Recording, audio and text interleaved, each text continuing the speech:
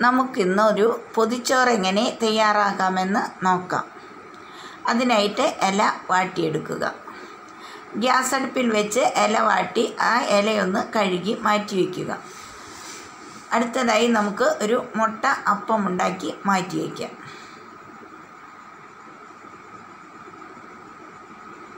അടുത്തതായി നമുക്കൊന്ന് മീൻ പൊരിച്ചെടുക്കാം. അതിലേക്കായിട്ട് നമുക്ക് ഒരു ടീസ്പൂൺ മുളക് പൊടി അര ടീസ്പൂൺ മഞ്ഞൾപ്പൊടി പാകത്തിന് ഉപ്പ് അല്പം വെള്ളം. ഇത്രയും എടുക്കുക. നല്ല വെള്ളം നന്നാക്കി എടുത്ത ഉപ്പൊക്കെ ഇട്ട് ഉരച്ച് നന്നാക്കി എടുത്ത മീൻ അതിലേക്ക് കുറച്ച് വിനാഗിരി പുരട്ടി കുറച്ച് നേരം വയ്ക്കുക അതിനുശേഷം കുറച്ച് പുളിവെള്ളത്തിൽ കഴുകിയെടുക്കുക. ഉളുമ്പൊക്കെ പോയി നല്ല ഫ്രഷായിട്ട് നമുക്ക് മീൻ നന്നാക്കിയെടുക്കാൻ പറ്റും. ഈ നന്നാക്കിയെടുത്ത മീൻ നമ്മുടെ ഈ കൂട്ടിലേക്ക് ഇട്ട് കൊടുക്കുക. നല്ലവണ്ണം മിക്സ് ചെയ്ത് നമുക്ക് അതൊരു പത്ത് മിനിറ്റ് റെസ്റ്റ് ചെയ്ത് വയ്ക്കാം ഈ മാരിനേറ്റ് ചെയ്ത മീൻ മീൻ നമുക്കൊരു പത്ത് മിനിറ്റിന് ശേഷം പൊരിച്ചെടുക്കാം.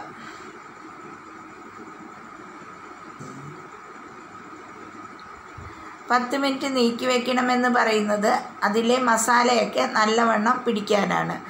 ഒരു പത്ത് മിനിറ്റ് ഫ്രിഡ്ജിൽ വെച്ചിരുന്നാലും നല്ലതാണ്. ഫ്രീസറിലൊന്നും വെക്കേണ്ട. താഴെ മൂടി വയ്ക്കുക അതിനുശേഷം നമുക്കത് ഒരു കടായിൽ ഫ്രൈ ചെയ്തെടുക്കാം. അടുത്തതായി നമുക്ക് ഒരു തേങ്ങാ ചമ്മന്തിയാണ് തയ്യാറാക്കേണ്ടത്. അരമുറി നാളികേരത്തിലേക്ക് ഒരു മൂന്നാലഞ്ച് ഉണക്കമുളക് വെളിച്ചെണ്ണയിൽ വറുത്ത് കോരിയെടുക്കുക. ഒരു ചുമന്നുള്ളി തൊലി പൊളിച്ചെടുത്ത് കഴുകിയെടുക്കുക. പാകത്തിന് ഉപ്പും രണ്ട് തണ്ട് കറിവേപ്പിലയും വാളംപുള്ളി കുറച്ചുമിട്ട് നല്ലവണ്ണം വെള്ളം തൊടാതെ അരച്ചെടുക്കുക. നല്ലവണ്ണം ഉരുട്ടിയെടുത്താൽ സ്വാദിഷ്ടമായ തേങ്ങാ ചമ്മന്തി ഇവിടെ റെഡിയായി അടുത്തതായി മീൻ കറിയാണ് വളരെ എളുപ്പത്തിൽ വയ്ക്കാവുന്ന ഒരു മീൻ കറിയാണ് ഇവിടെ പറയുന്നത്. അതിലേക്ക് നന്നാക്കി വെച്ച മീനിലേക്ക് അഞ്ചാറ് പച്ചമുളക് കീറിയിടുക. രണ്ട് തണ്ട് കറിവേപ്പില ഒരു കഷ്ണം ഇഞ്ചി കനം കുറച്ച് നീളത്തിൽ അരിഞ്ഞെടുക്കുക. പാകത്തിനുപ്പും അര ടീസ്പൂൺ മഞ്ഞൾപ്പൊടിയും ഇട്ട് കൊടുക്കുക. അതിനുശേഷം ഒരു മൂന്ന് പീസ് കുടപ്പുളി നല്ലവണ്ണം കഴുകി ഇളഞ്ചൂട് വെള്ളത്തിൽ കുതിരാനിട്ട് വയ്ക്കുക ആ വെള്ളത്തോടെ തന്നെ നമുക്ക് ഇതിലേക്ക് ഒഴിച്ചു കൊടുക്കാം. അടുത്തതായി ഒരു മുറി നാളികേരം ചിരകിയെടുത്തതിലേക്ക് ഒരു ടീസ്പൂൺ നിറച്ച് മുളക് പൊടി ഒരു ടീസ്പൂൺ മല്ലിപ്പൊടി അര ടീസ്പൂൺ മഞ്ഞൾപ്പൊടി. ഇത്രയും ഇട്ട് നല്ലവണ്ണം അരച്ചെടുത്ത കൂട്ട് ഇതിലേക്ക് ഒഴിച്ച് ഗ്രേവി കൂട്ടി പാകത്തിന് ഗ്രേവിയാക്കുക സ്റ്റവിൽ വെച്ച് വേവിക്കുക. ഒരു പത്ത് മിനിറ്റ് വെന്ത് കഴിഞ്ഞാൽ നമ്മുടെ ഫിഷ് കറി ഇവിടെ റെഡിയായി. ഇനി അടുത്തതായി അതിലേക്ക് വറുത്തിടണം. അതിനായിട്ട് ഒരു മൂന്നാലഞ്ച് ചുമന്നുള്ളി തൊലി പൊളിച്ച് നല്ലവണ്ണം കഴുകിയെടുത്ത് കനം കുറച്ച് അരിഞ്ഞെടുക്കുക. വട്ടത്തിലായാലും കുഴപ്പമില്ല. ഇപ്പോൾ വലിയ ഉള്ളി ആയതുകൊണ്ട് നല്ലവണ്ണം ചതുരത്തിലാക്കി നടുമുറിച്ച് കനം കുറച്ച് അരിഞ്ഞെടുക്കുക. അത് ഒരു രണ്ട് ടേബിൾ സ്പൂൺ വെളിച്ചെണ്ണ ഒഴിച്ച് ഈ ചുമന്നുള്ളി ഇട്ട് ബ്രൗൺ നിറമാകുന്നത് വരെ മൊരിച്ചെടുക്കുക. നല്ലവണ്ണം വറുത്ത് ബ്രൗൺ നിറമായാൽ നമുക്ക് അതിലേക്ക് മുളക് പൊടി ഇടണം. മുളക് പൊടി ഇടുന്നതിന് മുന്നേ തന്നെ നമുക്ക് സ്റ്റൗ ഓഫ് ചെയ്യണം. സ്റ്റൗ ഓഫ് ചെയ്തില്ലെങ്കിൽ മുളക് പൊടി ഇടുമ്പോൾ കരിഞ്ഞു പോകും. അതുകൊണ്ടാണ്. നല്ല ഗോൾഡൻ ബ്രൗൺ നിറം ആകുന്നത് വരെ നോക്കി നിന്ന് സ്റ്റൗ ഓഫ് ചെയ്ത് മുളക് പൊടി ഇട്ട് നമുക്ക് അത് ഒന്ന് ഇളക്കി കറിയിലേക്ക് ഒഴിച്ചാൽ നല്ല ടേസ്റ്റിയായ ഈസിയായ ഫിഷ് കറി ഇവിടെ റെഡിയായി. നമുക്കിനി ചോറ് എങ്ങനെ പൊതിഞ്ഞെടുക്കാമെന്ന് നോക്കാം.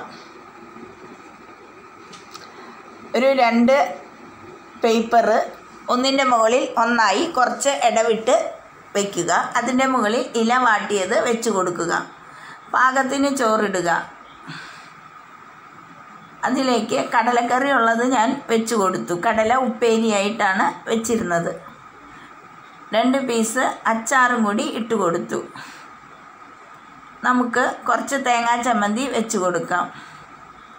ഈ പൊതിച്ചോറൊക്കെ ഇപ്പോൾ ഒന്ന് കാണിക്കുന്നത് അറിയാത്തവർക്ക് വേണ്ടിയാണ്. ഇപ്പോൾ നമുക്ക് അത്യാവശ്യ ഘട്ടങ്ങളിൽ യാത്ര ചെയ്യുമ്പോൾ പുറത്തു നിന്ന് ഭക്ഷണം കിട്ടുകയില്ല. അപ്പോൾ നമുക്കൊരു പൊതിച്ചോറൊക്കെ കയ്യിൽ പിടിച്ചാൽ ഭക്ഷണം കഴിക്കാൻ എളുപ്പമാണ്. ആവശ്യം കഴിഞ്ഞാൽ ഈ ഇല നമുക്ക് വേസ്റ്റ് ബോക്സിലിട്ട് ഉപേക്ഷിക്കാം. ഫുഡും വെള്ളവും ഒക്കെ നമ്മളിപ്പോൾ യാത്ര പോകുമ്പോൾ കൊണ്ടുപോകണം. പുറത്തു നിന്നൊന്നും ഭക്ഷണം കിട്ടാൻ ഒരു പാകവുമില്ല. അല്ല ബിരിയാണിയൊക്കെയാണ് പാഴ്സലായി കിട്ടുകയുള്ളൂ. നമ്മുടെ വീട്ടിലുള്ള ഫുഡാവുമ്പോൾ നമ്മൾ സേഫായിരിക്കും. ഫിഷ് ഫ്രൈ ചെയ്തത് വെക്കാനായിട്ട് ഞാനൊരു സെപ്പറേറ്റ് ആയിട്ട് ഒരില വാട്ടിയെടുത്തിട്ടുണ്ടായിരുന്നു. അതുപോലെ മുട്ട അപ്പം ഉണ്ടാക്കിയത് വെക്കാനായിട്ടും ഇല ഞാൻ വാട്ടിയെടുത്തു. ഞാൻ അങ്ങനെയാണ് പൊതിച്ചോറ് പൊതിയാറ്. എന്റെ കയ്യിൽ കുറച്ച് മോരുകറി ഉള്ളത് ഒരു സൈഡിൽ ഒഴിച്ചു കൊടുത്തു. മീൻ കറി മറു സൈഡിൽ നമ്മൾ ഒഴിച്ചു കൊടുത്തു. അധികം ഗ്രേവിയൊന്നും ഈ ഇലപ്പൊതിയിൽ ഒഴിക്കേണ്ടതില്ല. ഇഷ്ടമുള്ളവർക്ക് മാത്രമേ മീൻ കറിയൊക്കെ ഇലപ്പൊതിയിൽ ഒഴിക്കേണ്ടതുള്ളൂ. ഒന്നുമില്ലെങ്കിലും ഒരു തേങ്ങാച്ചമ്മന്തിയും ഒരു പെരിയും അച്ചാറുമായാൽ തന്നെ നമുക്ക് പൊതിച്ചോറ് തയ്യാറാക്കാവുന്നതാണ്.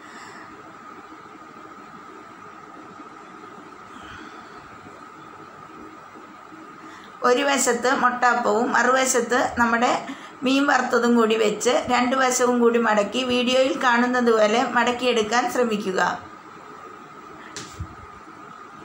നമ്മൾ ഗവൺമെന്റ് പറയുന്നത് പോലെ അനുസരിക്കുക. മാസ്ക് ധരിക്കാതെ പുറത്തു പോകരുത് അത്യാവശ്യ ഘട്ടങ്ങളിൽ മാത്രം പുറത്തു പോകാൻ ശ്രമിക്കുക. പോകുമ്പോൾ ഫുഡും വെള്ളവും നമ്മളെപ്പോഴും കരുതുക. സാനിറ്റൈസർ പരമാവധി കയ്യിൽ ഉപയോഗിക്കുക. വീട്ടിൽ വന്നു കഴിയുമ്പോൾ എപ്പോഴും സോപ്പും വെള്ളവും ഉപയോഗിച്ച് കൈ കഴുകാൻ ശ്രമിക്കുക. മുതിർന്നവരും അറുപത് വയസ്സിന് മുകളിലുള്ളവരും കുട്ടികളും പരമാവധി വീട്ടിൽ തന്നെ ഇരിക്കുക. ഗവൺമെന്റിന്റെ നിയമങ്ങൾ നമ്മൾ അനുസരിക്കുക.